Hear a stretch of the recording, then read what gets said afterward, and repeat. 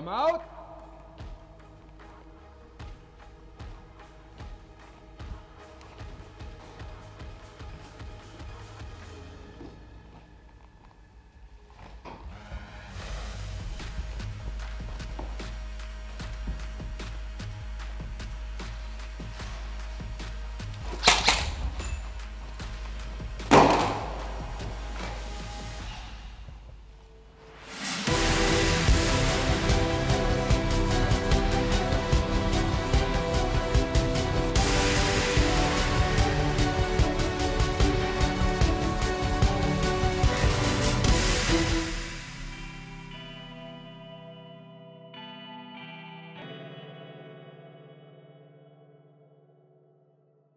All right, in the second drill, what I want you to do is to do a small complex clearance, okay?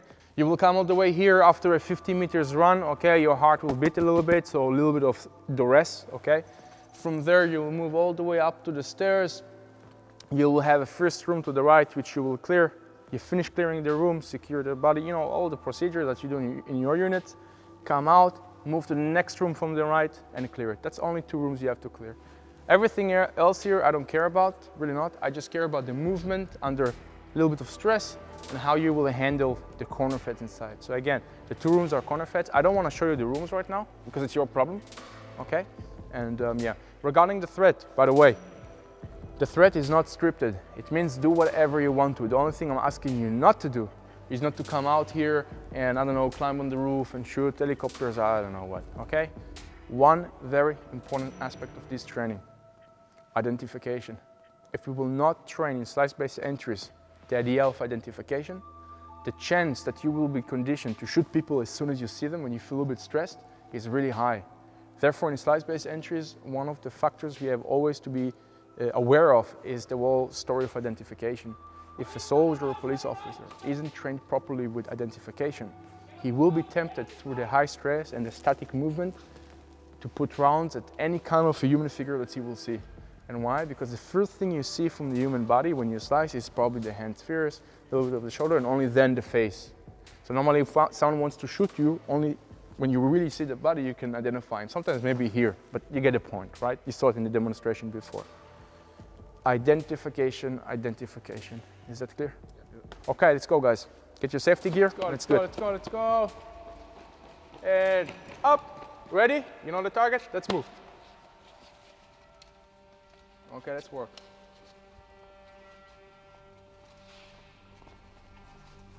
Ignore the doors, they're not in game.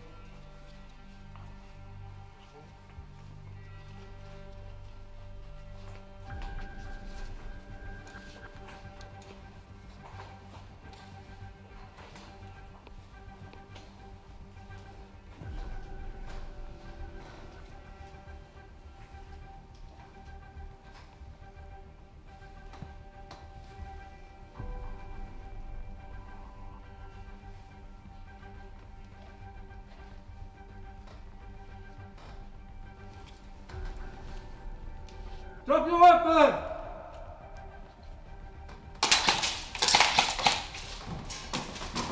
Slowly, slowly, take your time. You got him? Okay, turn around. And next room, let's go.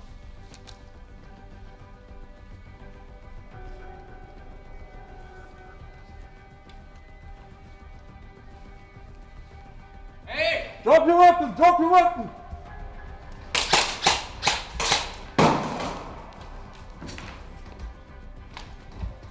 Yeah, very good. How was it for you? Working from the stairs was Yeah. kind of difficult because I have long barrel and long arms. Yeah. Um, but I feel safe with system Mm. because I have always kind of cover of concealment. Mm. Um, was good. Okay. You see how much you're breathing? You're not even running more than like 50 meters, right? Yeah. You see, how- it's just a stress. You saw the difference between positive to negative corner fed, right? Totally. Yeah. Okay. Perfect. Good work. Did you get hit? I didn't get hit. Did you guys you got hit, right? Yes. Both threats? On this uh, arm and uh, under my tunnel. Okay. That's awesome. chest and face. Bang. You guys are feeling good? All good? Safe wise? Ev- Everything is fine? Okay, good. Next guys. Let's go. Very good. Go!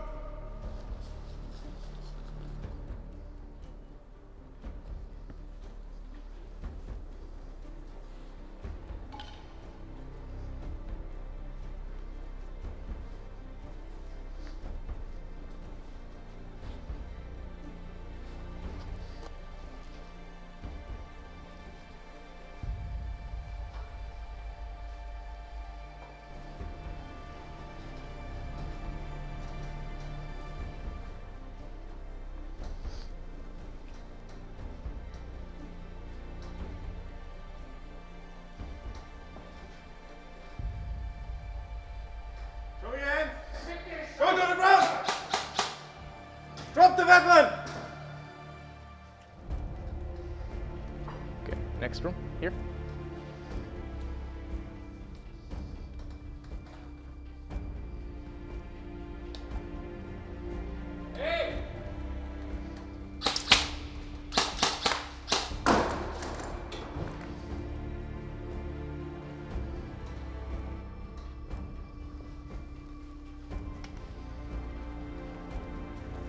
and reset.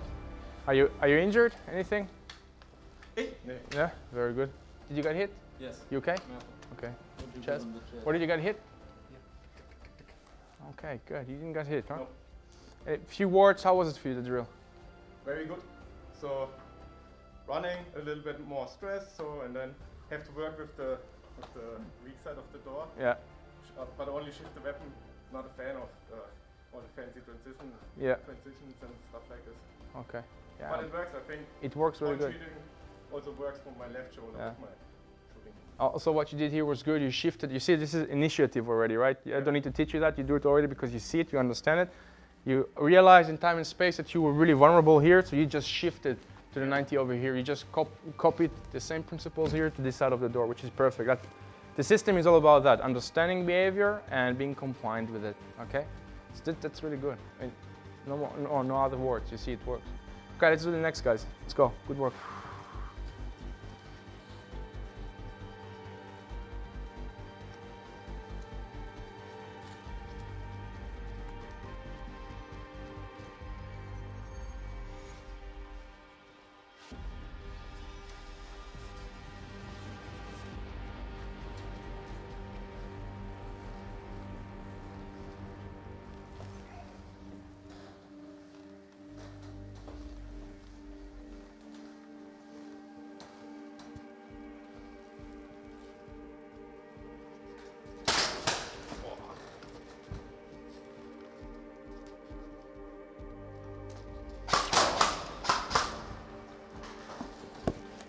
Okay, next room from here.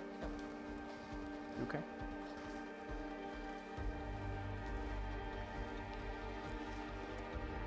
Police, police!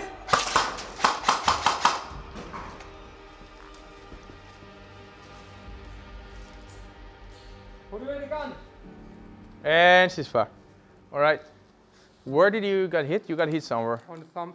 Okay, but you saw how, even though you fucked up and not really, and the guy was able to put one bullet to your direction, Yeah. automatically you flinched because you saw him coming, right? Yeah. As soon as you flinched, that shot went through, only managed to get your finger, but not the rest of your body because there were a lot of follow-up shots, right? He shot several shots. Yeah.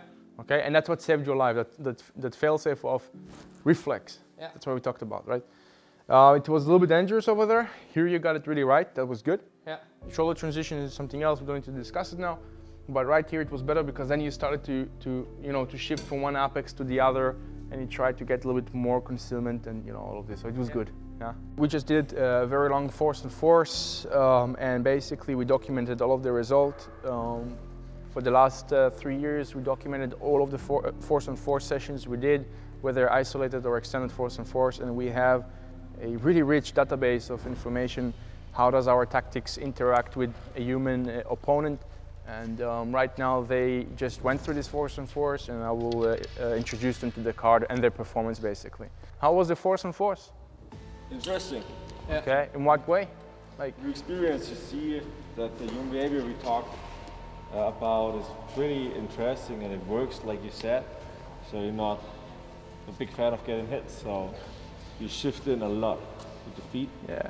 So it's pretty interesting and it works and it's simple. Yeah. Did you recognize how everybody slowed down as soon as they come into that door because they know there is someone over there? Yeah. That's why I'm not such a big fan of all of these, uh, you know, methods where people are just running and running, and running. Because in reality, when you know where there is someone there, you'll slow down. Then the footwork is a little bit uh, uh, the other way around, and so on and so on. Just pay attention to these little details. How was it for you? Uh, especially identification was a lot more easier than the movement. Why? You have more time, you're kind of static, and you still got some cover or concealment. Exactly. Well, I can't control during movement. It's very simple. Movement is used for positioning, from getting from A to B. Therefore, in this concept, for example, you have the ability to not only prepare yourself behaviorally for the next sta- uh, step, but also to identify, because you're static. Maybe you do a small step, but you're static. You don't have such a high physical uh, pressure on you. Okay, so you can see, you can understand, you can identify. You know, like I saw you standing on the doorway. I crossed by. I was able to see a pistol, but I could still. I was not able to properly identify until I landed, landed on the 90 degrees, and then I just delivered the two shots, right? Like this. Okay. How was for you? Completely different. When you used to shoot paper or steel targets, and now the, the thread shoots back, it's a completely different Yeah. type of thing. During the scenarios, only one person from the friendlies got hit on his finger, which is really good. This is also something we see very often in our courses and in the force and force across all kind of units, from special forces to infantry to SWAT to uh, patrol officers. If guys are getting hit because they're doing something wrong or whatever, the footwork still uh, saves their life. And why? Because they're getting hit just in the elbow or fingers and stuff like this, and naturally they're flinch, taking them away from the angle. And you all saw that. You all saw that with the flinch how this fail-safe interact with the tactics and allows you to work. And for the officers here from the police, you also you recognize you need to announce yourself, right? Police, police, we are here and so on. You need to identify there is a set of laws that you have to comply to, and therefore you can't just run into rooms and solve a threat, right? And you saw how it is. You are reactive the entire time. Know? Good, very good.